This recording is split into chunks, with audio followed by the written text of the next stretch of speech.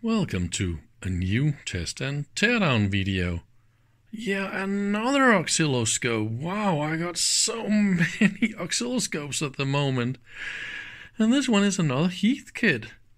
Service oscilloscope model OS2. Wow, this is so cute. It's really, really small and super portable. See, I can easily grab it like that.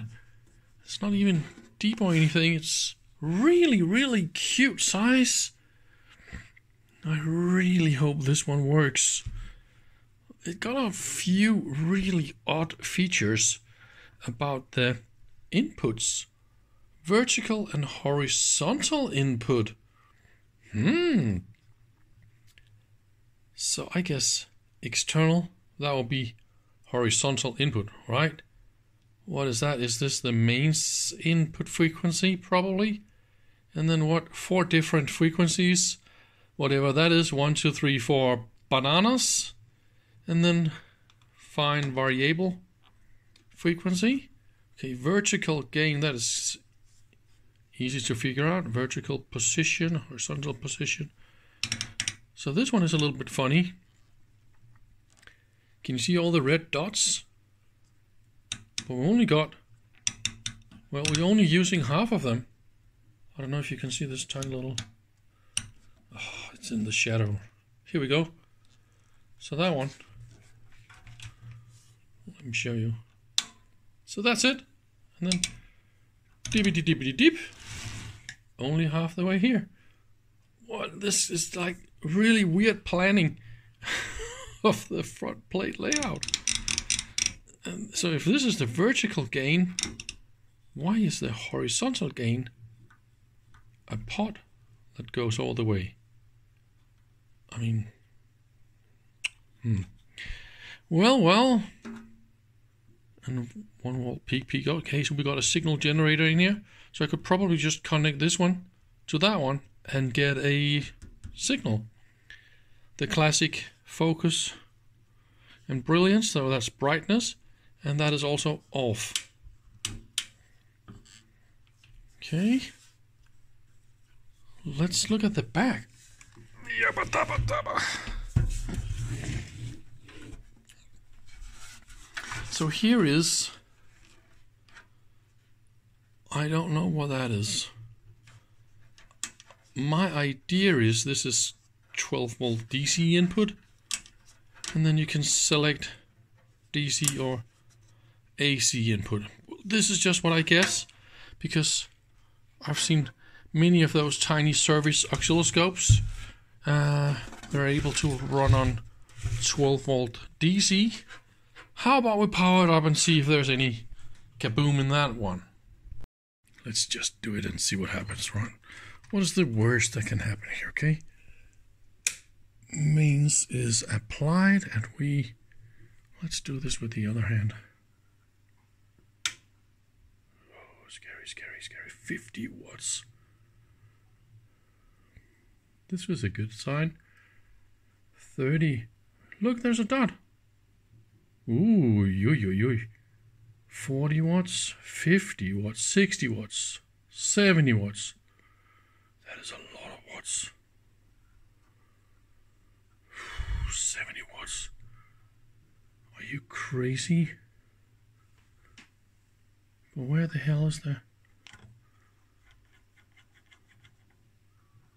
Wait. Okay, so it's not perfect in any way, but there's a dot.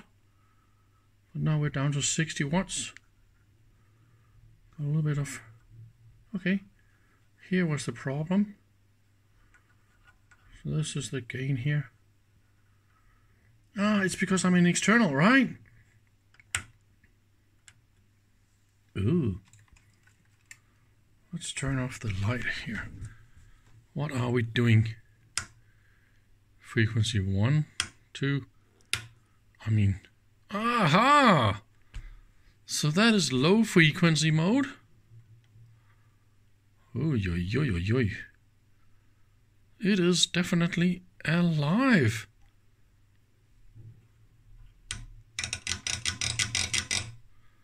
Need to massage the switch a little bit. Vertical position up here. Also need a little bit.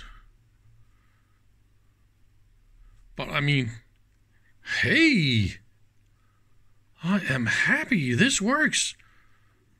We got a little bit, whoa. Okay, so if this is, aha, so that is the gain. And I can crank it down like that. Okay, that is cute. Is it going back and forward? Is there any blanking or is it... I definitely need to input something now. Okay, I guess it is nice and warm now. So that is 55 watts. I guess this is going to run really warm. You're gonna love this. It's actually beautiful. So this is... Yeah, okay.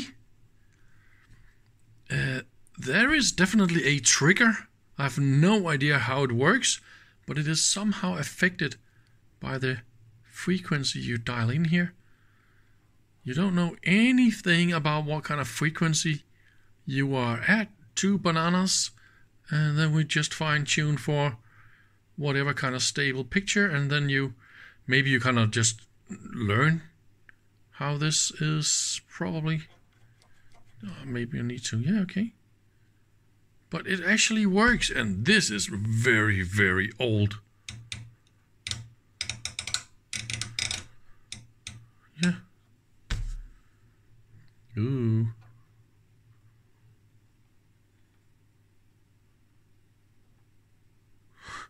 This is really fun to play with.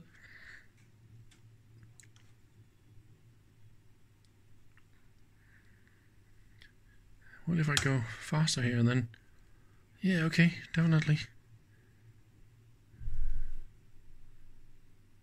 It is a little bit weird to get a nice stable picture. This is not exactly what I wanted.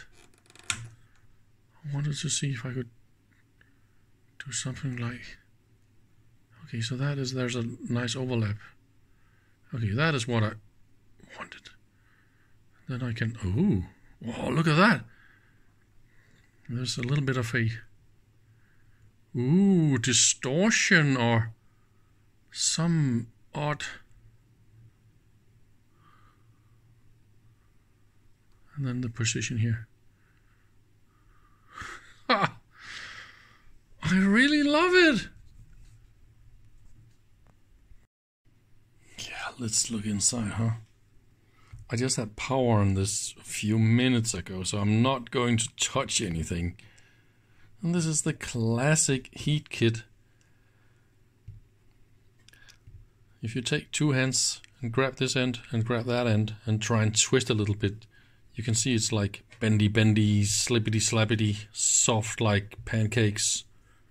And that is just how Heathkit is. They go for low weight, definitely. If I try and lift it up here. Ooh. Oh, definitely need to be careful where I'm touching. Oh, those tubes. They're hot. I'm actually a little bit surprised to see a PCB in here. Nice Heathkit. PCB. Sometimes you can find, let me find something to touch. PG number 85536. And all the nice numbers. I mean, this is really beautifully made with the wires and uh, stuff like that. Why is this wire stuck? It's kind of so that was better. Oh, is that a, an extra fuse? It is very hot somewhere. Not there.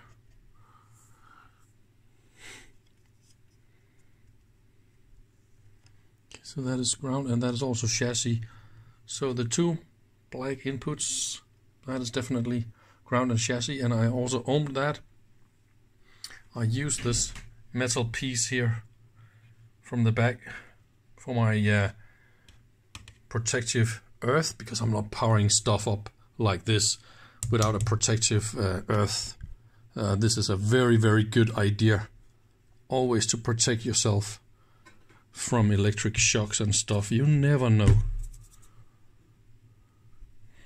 So that will be some kind of AC input, definitely. I thought, ah, okay, look at that. This is actually deflection directly, right? Oh yeah, that will be the probably the vertical deflection going in internal or external. So you can play with that if you want to. I mean, how fast is this scope? The wires are really made nice and good. It's just ECC 82s or yeah, and more ECC 82s. And then 80 and 83s. I mean, nothing fancy fancy. Nice little rectifier tube. And that is actually all there is to it. Seven tubes. Don't you just love those trimmers? oh, this is how you adjust the levels. Somebody went all the way. And this is very, very close to the side. This is almost touching, isn't it? Yep, it is definitely. Look at that. The side is actually in here. So that will be touching that. And you need to handle this with care. What is that, a GG7 CRT? Most likely, right?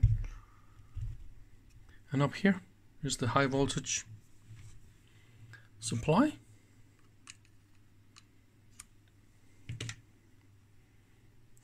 I think it's amazing you can make a scope that actually works, triggers and and everything. Just seven tubes. oh yeah, yeah, yeah, yeah. Oh, that. I need to see if that is. Oops. That is some sort of a fuse. What is that size? So what is in here? Okay, so this is the voltage selector. Dippity dippity doot. And it was in the 220 to 230. Ah, the fuse is in here.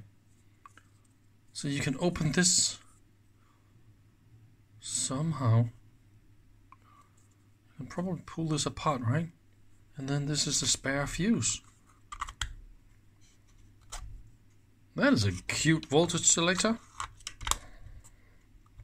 It is a little bit loose.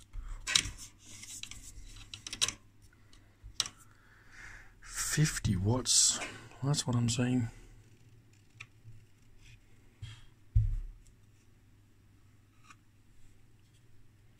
Maybe we could fix this little dent.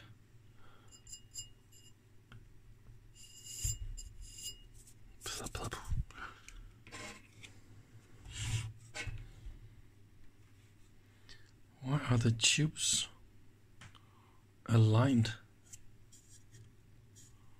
like that? It's actually the sockets. Look how how nasty that is.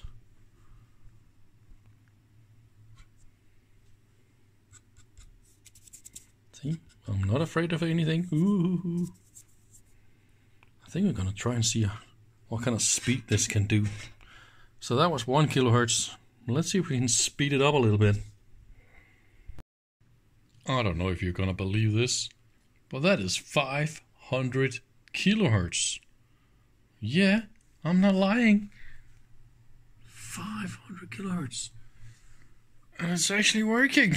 I'm just in the fastest mode here.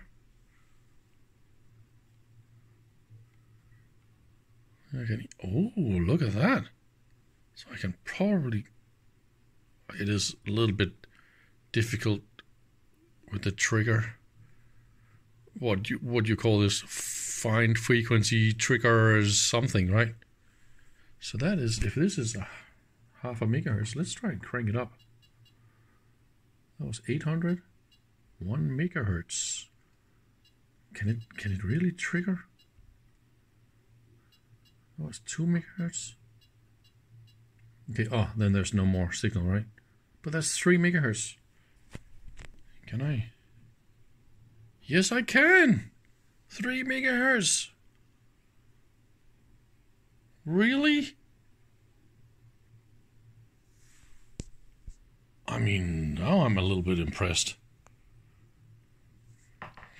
I think it is late and let's go to bed. But thank you very much for watching and see you tomorrow.